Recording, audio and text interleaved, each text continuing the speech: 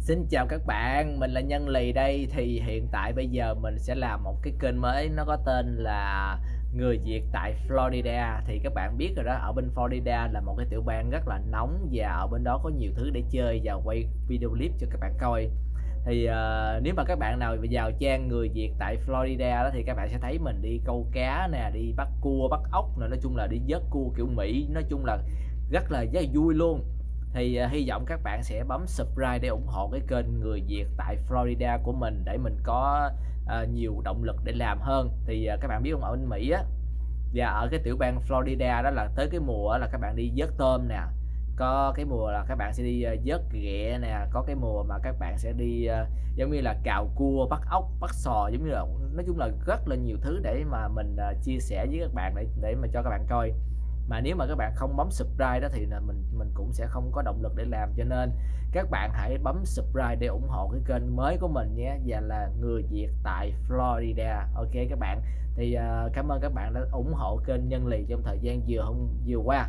Thì bây giờ các bạn hãy ủng hộ thêm một kênh mới của mình nữa. Và mình sẽ ra thiệt là nhiều video để cho các bạn coi. Và mình sẽ cố gắng đi chơi thiệt là nhiều thì cái kênh này là sẽ rất là phải có rất là nhiều thứ hay. Nhưng mà nó sẽ giống như là hơi ngắn hoặc là dài cũng tùy theo độ quay các bạn nhé. Tại vì mình đi bắt cua bắt ốc mà cho nên sẽ rất là khó để mà quay những cái video này. Thì bây giờ thì à, mình sẽ chia sẻ với các bạn về cái link này. Thì nếu mà các bạn thực sự thích, thích khám phá nước Mỹ và ở bên tiểu bang Florida đó thì các bạn hãy bấm vô cái link này ủng hộ mình để cho mình có thêm động lực nhé. Cảm ơn các bạn và các bạn đừng quên bấm kênh ủng hộ kênh chuyện ma của người miền Tây các bạn nhé. Thì cái kênh đó mình cũng mới làm luôn thì bây giờ mình sẽ có tổng cộng là ba kênh.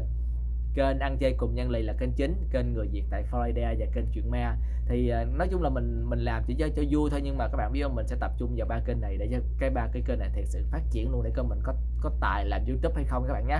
À, thì nếu mà các bạn cứ cứ thích mình thì các bạn cứ bấm ủng hộ ủng hộ ủng hộ để mà à, có nhiều người biết tới mình hơn bây giờ mình sẽ đi theo cái con đường gọi là làm YouTube chuyên nghiệp. Các bạn làm YouTube theo kiểu gọi là chuyên nghiệp nhất nhất nhất có thể. Nha không? mình sẽ cố gắng ra thiệt là nhiều video hay hay hay, hay nhất có thể. Thì uh, các bạn chỉ cần bấm subscribe và like bấm subscribe và like bấm subscribe và like để ủng hộ mình thôi. Ok? Thì uh, cái video này mình chỉ nói đơn giản thôi các bạn nhé hy vọng các bạn sẽ thích cái video này. Bye bye các bạn.